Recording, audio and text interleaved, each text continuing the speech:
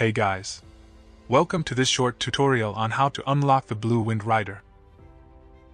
You can purchase the mount from Mei Francis for 80 gold. To get to her simply take the portal to Old Dalaran in your faction's portal room and then run to her. She is located in Old Dalaran outside of the Stable Masters building at coordinates 58.0 and 42.3.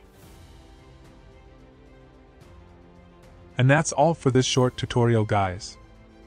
Thanks for watching and don't forget to like, comment, and subscribe. See ya.